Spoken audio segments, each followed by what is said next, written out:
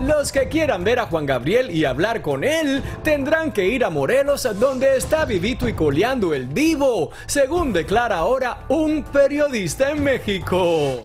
Nuestra cosita linda Danilo Carrera dice que por culpa del fútbol ahora sufre de tendonitis, dolores lumbares y hasta problemas en sus rodillas. Varias veces le dijimos que se quedara con nosotros porque ya estaba muy viejito para darle pataditas a la pelota.